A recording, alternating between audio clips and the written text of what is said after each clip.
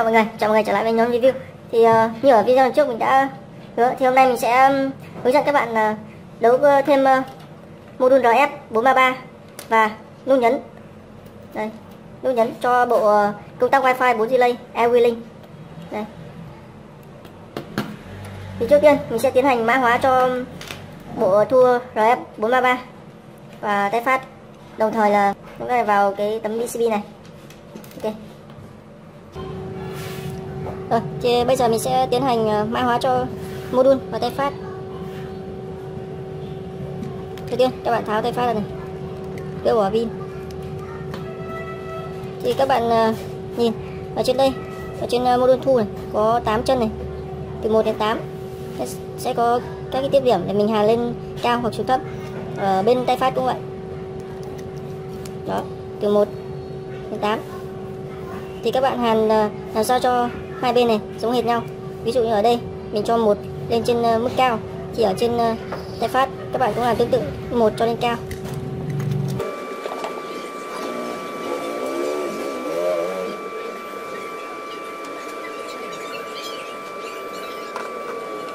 Rồi thì đây mình đã hàn tương ứng mở ở chân thứ nhất lên cao thì các bạn có thể tùy biến theo cái mã này. Uh, theo cái uh, khả năng của các bạn. Uh, nghĩa làm sao là hai bên nó sẽ được mã hóa giống nhau thì mới ờ, điều khiển được cho nhau. Okay. thì vừa rồi mình vừa hướng dẫn các bạn mã hóa cho module phát à, cho tay phát và module thu RF433 ở đây mình sử dụng uh, loại uh, module thu M4 RF433 M4 rồi. thì uh, cái việc mã hóa này để uh, tránh trường hợp là khi mà bạn mua tay phát khác nó, về điều khiển các thiết bị khác thì nó sẽ không bị trùng và không không điều khiển được cho nhau rồi thì bây giờ mình sẽ tiến hành hàn các cái uh, công cái nút nhấn vào PCB này.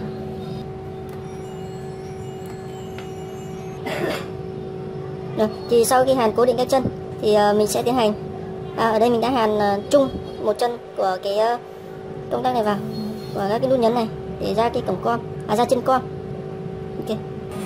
Bốn nút này. Bốn nút hàn chung với nhau. Và ra một giây còn ở các đầu còn lại của các cái nút nhấn ra một giây. Một hai ba bốn. Rồi. Thì bây giờ mình sẽ tiến hành hàn cái um, module thu. Module thu và cái ờ, uh, nút nhấn này vào uh, cái công tắc wifi. Rồi thì uh, bây giờ mình sẽ tiến hành hàn cái module này và nút nhấn này vào bộ uh, công tắc wifi. Thì ở trên module thu các bạn bỏ cái chân VT đi nối chân VT đi.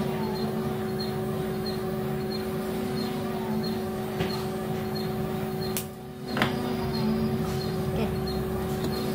hàn vào cái ờ, uh, tiếp điểm đây. Hàn vào cái chân chờ đây.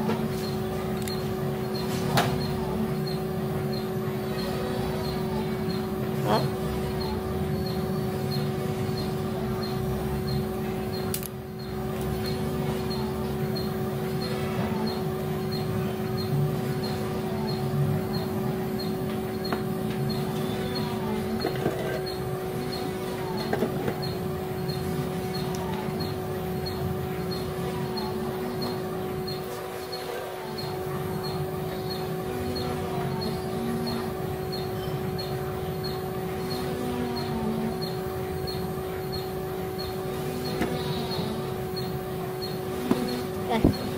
Là nút nhấn nhấn thì à, cái dây màu đen này tức là chân trung ấy, mình sẽ hàn vào cái chân con này. Và ở mỗi nút nhấn mình sẽ hàn vào key tương ứng. Đây hàn vào key một key hai key hai key bốn.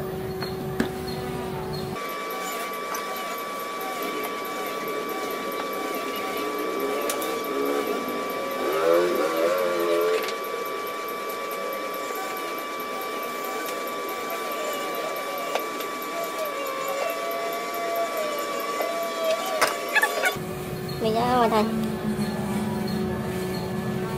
rồi thì uh, ở đây mình đã tiến hành hàn xong bộ thu RF à, module thu RF 433 loại M4 đây và bốn nút nhấn này. Thì uh, bây giờ mình sẽ tiến hành test cho các bạn xem. Đầu tiên là mình cấp nguồn. Cấp nguồn từ ờ, cái sạc điện thoại này.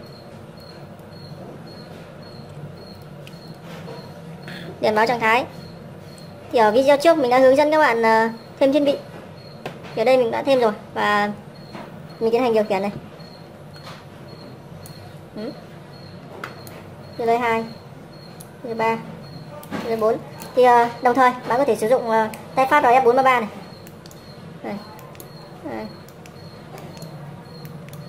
đó. Thì uh, tay phát này với ở cái điều kiện uh, ít vật cản thì nó có thể lên tới 40 mét. Khi mình điều khiển ở đây hoặc điều khiển ở nút nhấn này. Một này. Hai ba. Thì ờ, đồng thời ở trên điện thoại nó cũng hiển thị trạng thái ờ, của relay tương ứng.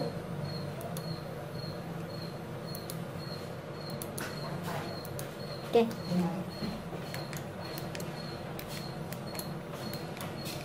Rồi, thì cái video hướng dẫn ờ, lắp thêm cái bộ thu RF433 và nút nhấn ra ngoài để hoàn thiện một cái sản phẩm ứng dụng trong thực tế. Đến đây là kết thúc. Thì cảm ơn các bạn đã chú ý theo dõi và hẹn gặp lại các bạn ở các video lần sau.